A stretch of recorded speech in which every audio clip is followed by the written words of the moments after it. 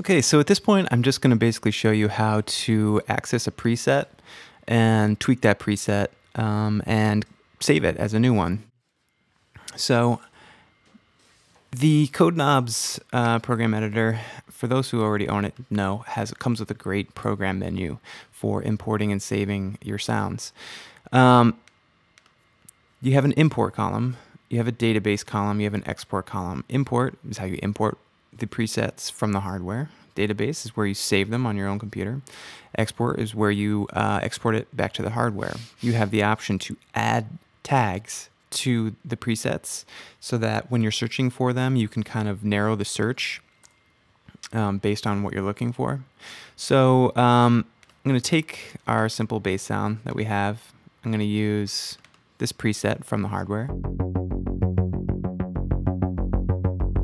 Or maybe I'll try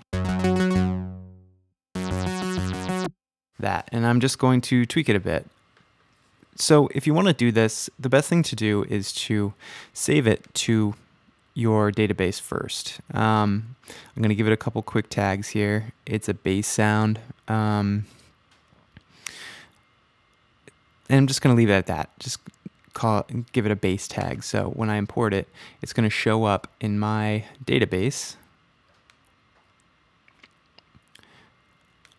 with a bass tag. Um, search for it. There it is. So now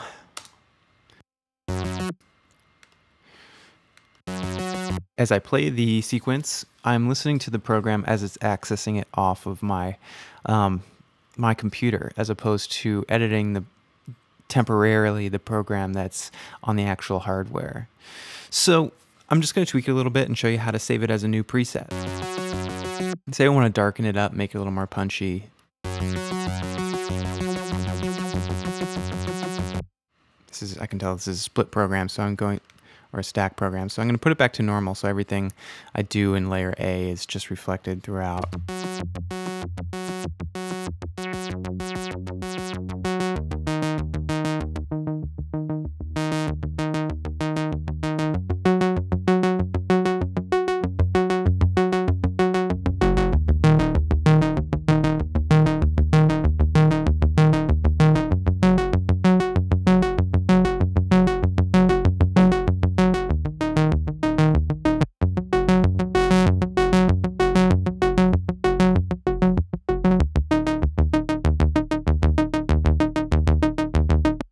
Okay, so I've tweaked dual bass. Now I want to save it as a new preset.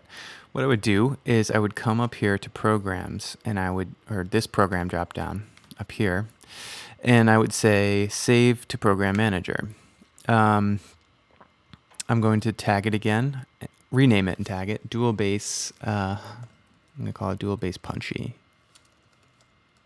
Punchy and dark. Um, so I'm going to say, just put, again, just a simple bass tag on it and say OK. So going forward, as I search for it, it should be one of my new presets. There it is. So if I go back to the old one, there it is, and here's the edited one. That's simple. Um, the greatest thing about this is that when you close this session, if you close your session down, um, is this is going to remember your preset exactly how it existed. It's like a perfect recall for the hardware.